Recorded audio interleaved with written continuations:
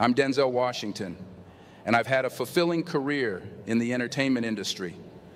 I was born on December 28, 1954, in Mount Vernon, New York, USA. Here are some highlights from my career.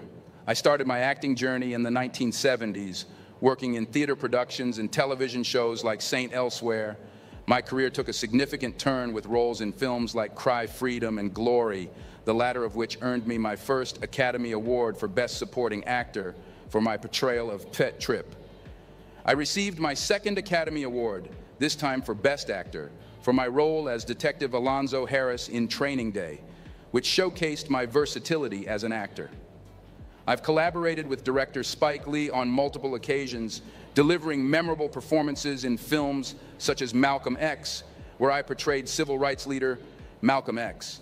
I've been part of several successful and critically acclaimed films, including Philadelphia, The Hurricane, Remember the Titans, Flight, and Fences, which earned me another Academy Award nomination.